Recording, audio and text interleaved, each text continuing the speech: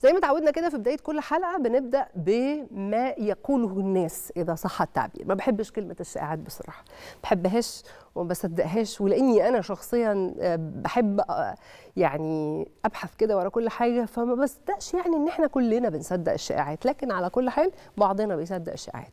فخلينا نقول إن اللي الناس بتقوله أو بتعتقده دي حاجة مهمة جدا ولازم نحترمها ولازم نتعامل معاها بقدر من الجدية.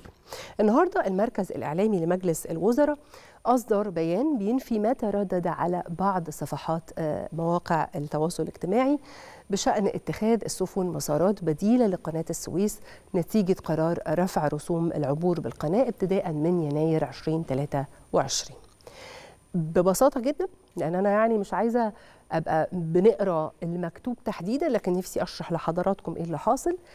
ببساطة جدا هيئة قناة السويس وهي هيئة من حقها جدا إنها تقرر رسومها اللي بتطبق على السفن اللي بتعبر من خلالها. قالت مسبقا إحنا النهارده في شهر أكتوبر فقالت إنه الرسوم هتزيد بدءا من 2023 يعني هتزيد بعد شهرين قدام.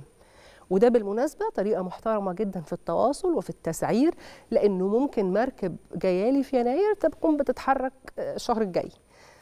السفن بتاخد شهور في في المايه فالهيئة أعلنت ودي يعني طبعا حريتها وتقدير السعر دي قصة بتحددها الهيئة بناء على الظروف الاقتصادية العالمية المتغيرات والآليات اللي تواكب سياسات تسعيرية. والسياسات التسعيرية بالمناسبة من ضمنها تقدير رسوم العبور للسفن ده من حق الهيئة حق كامل للهيئة اعتمادا على الوفر المناسب لهذه الرسوم في الدخل اللي بتحققه السفن من عبورها.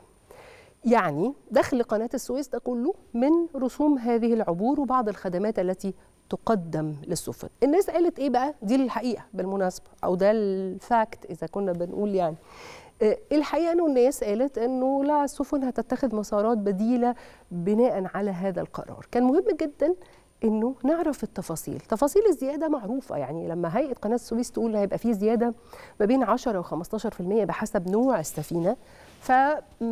فالإشاعة بسرعة اللي عايزة تخوفك وتقلقك من أي تصرف حر بتقوم بيه بلدك إنه السفن هتتخذ مسارات بديلة. لكن الهيئة اتكلمت بوضوح عن معلومة أنا بعتقد إنه مهم جدا نبقى عارفينها. في حاجة كده تخص الرسوم. اسمها رسوم فئات الرسوم. في ارتفاع شديد جدا بيحصل في فئات التأجير الزمني اليومي والمصطلح ده في حد ذاته ممكن يبقى بعضنا ما يعرفوش. يعني إيه التأجير الزمني اليومي؟ يعني السفن بتتأجر أو بتشتغل بنوعين بطريقتين يا إما بالتأجير بالرحلة. يعني مالك السفينة ده بيأجر السفينة لطاقم السفينة.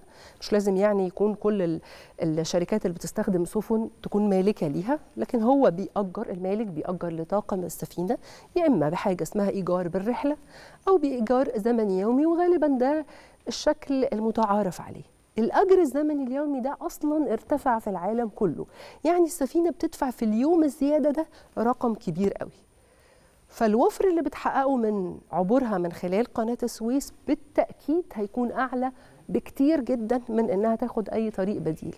وبالتالي قناة السويس كمان من حقها تعمل ارتفاع طفيف في رسومها وده ما أعلنته هيئة قناة السويس. دي القصة بمنتهى البساطة والمعلومة كمان وتفاصيلها كان مهم جدا نعرفها فمشكورا مجلس الوزراء كمان النهاردة خرج هذا التوضيح.